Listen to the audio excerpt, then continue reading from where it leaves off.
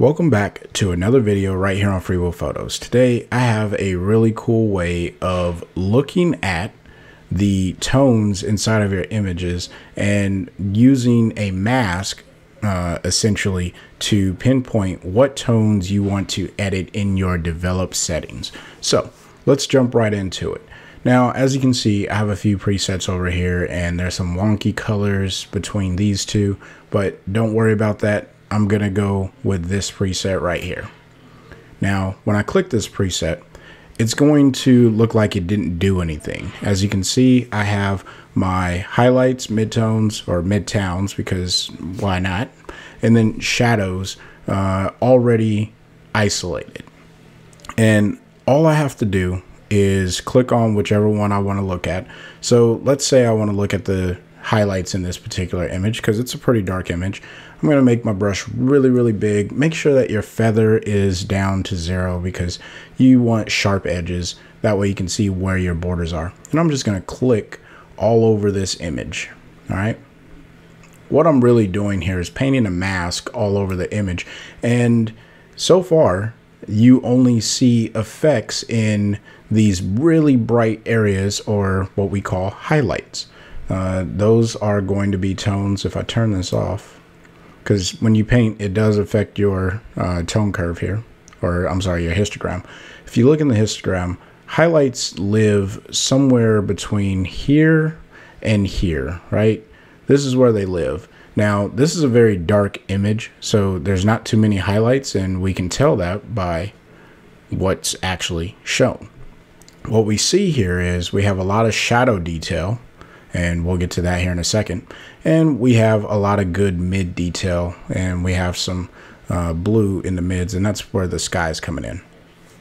So what I'm going to do is actually click on the mids, and this time I'm going to paint all over this image, and we'll start to see more information come out. And most of this information that's you know the blues that are in the mids we're seeing that in the sky and that's over here. And then we have some mid tones all over this mountain things of that sort. All right? So there you have it. Now let's go ahead and take a look at our shadows.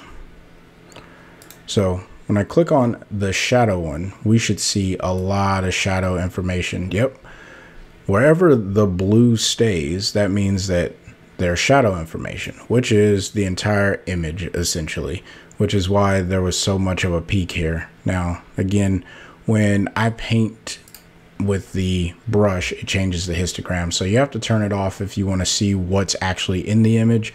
And then you can turn it back on to see the overlay. And as you can see, this is a very shadowy image. How am I getting this? Well, we have the midtones here. And if you come down on your local adjustment, there is a little icon that says paint with color. If you check that bubble, it disables all of your other settings and it gives you this little drop down box or color picker, selector, whatever. You just choose a random color, whatever color you want. Doesn't matter. And then what you're going to do is come up to the gear icon and this is going to open up your blending options. Now, as you can see here, in the apply to, I hit the drop down and for the midtones, I'm only applying this to my midtones. Now, by default, it's going to be set to all. If you have it set to all and you're looking at a big green screen, that's what is happening, all right? But I want to look at this only in my midtones. Now, you can also, if you want to get a little bit more fine tuned and really get into colors, you can look at uh, painting this into your greens, your blues, your magentas, all of that. All right. Uh, yellows, and then there's fresh colors, which I'm not really concerned about any of that. All right. Midtones is what we're looking for because we have a slider for that. And I just want to see what I am editing over here in the develop module when I have my midtones selected. So if I want to darken those or brighten those based off of the luminosity of the image, and as you can see, as I increase my midtones, my mask is starting to pick up more of those areas. So it's showing me what I'm really affecting when I bring up my midtones. All right. And if I bring down my midtones, you can see that I'm affecting less of the image because there's less information that I'm pushing into the midtones. All right, so hopefully this is a helpful way of showing you how to use the local adjustments inside of ON1 Photo Raw to develop your images a little bit better. If you found this video helpful, go ahead and smash the like button.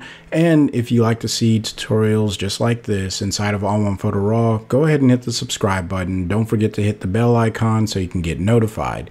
And until the next time, I want you guys to stay inspired and keep creating.